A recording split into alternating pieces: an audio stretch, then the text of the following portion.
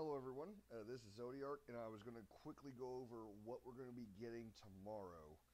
Uh, first off, we're going to be getting a farm event. Uh, it looks like it's going to be a staple where you got you know your tickets. You're going to be getting your tokens, your lapis, a legendary difficulty. Most of the items don't look all that good like the uniques, like the Cure Robe is kind of meh, and then the Gaia Ocarina. I don't know. I'm sure you can find someone that could appreciate the MP10 on that.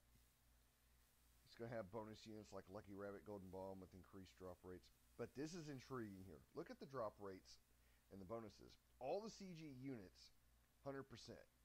Chizuru, Vanille, and Riku have 75. And then for some unghastly reason, we got, it looks like Jack, that first sprite, and Elwin. Timothy yeah, Timothy's his name. So I'll definitely have a CG unit available for everyone. I'm probably thinking it's going to be Nichol. And then we're going into the short stories.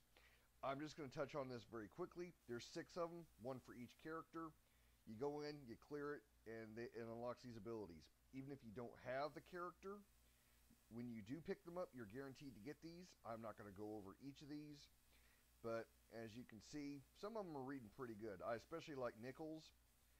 Boost HP MP water resist by 20%. Can't complain there. And Lid's, uh, camouflage effect, uh, chance to restore everyone's HP when receiving a physical attack, and fill limit break gauge. So, so far, some of them are reading pretty good. But let's move on to the actual featured summon that's going on. The way it works is this is going to be a step up summon starting tomorrow. After every 10 1 summon you do, you get one of these coins. You need five to summon one of the six heroes. So, in other words, 5 10 1 summons, guaranteed 5 star unit at the end. It's a step up summon with different wording and none of the benefits leading up to the final. Having said that, this is how the actual summoning will work this week. We're getting three pools. Once again, each 10 one you do, no matter which pool it is, nets you one of these coins. The first one is going to be going on from Friday until Monday. Drop rates will increase for Chizuru, Elwyn, uh, Pyroglacial Lasswell, and Lotus Mage Fina. If you don't have Lotus Mage Fina, I highly recommend you try to collect her because she's one of the best healers in the game. For some people that don't think they need healers, that's fine too. Uh, if you need Chizuru's Blade Mastery for the 50% katana increase in attack, this is also a great banner to try to pull that one from. Or if you just want a decent katana that's got like think it's like 105 or 110 attack, ice elemental, and some beast killer passives. Elwyn can help you get that. But let's keep going on. Starting Sunday and going into Wednesday, banner changes once again. Blossom Mage Sakura, who is a very good unit. Uh, Vanille, who's got Magical Crest, Magic Spirit 30%, not bad to have.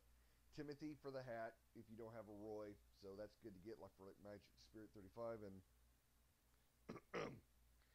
Name was Gunner Jake. So, if you're trying to pull from Blossom Sage Sakura, who's one of the best casters in the game, this is be certainly your chance on that.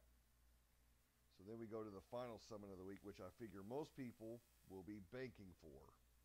Starting Tuesday and going into Friday, you got Jack, Riku, which, by the way, if you haven't gotten Riku's pouch, this is your chance to start getting points on that. Heavenly Technician Lid, and Maritime Strategist Nichol. Uh, some people still don't have Nichol, and this is again their chance for the third consecutive banner week in a row where you actually have a chance to have Nichol on banner. They are literally trying to give this guy away. Uh, let's see, we're reading the disclaimers here. Maximum summon rarity is 5 to 6.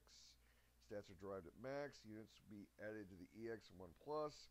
Select Trustmaster rewards not stacked. Banner features three different summon pools, but each summon pool is not limited exclusively to the units featured on the banner, which means, hey, guys pictured, you're going to get others. Any five star unit summon will be one of the six protagonist units with cinematic limit burst featured. So, if you're trying to get any other five star summon, and I do mean any other five star summon, you're probably going to be out of luck. But then again, most of these, uh, we'll call them CG units, are going to be way better than what's out there, except for Nameless Gunner Jake. And only units added to the game prior to the end of June 2018, which there haven't been any new units added to the game since then, will be included in the summon pool.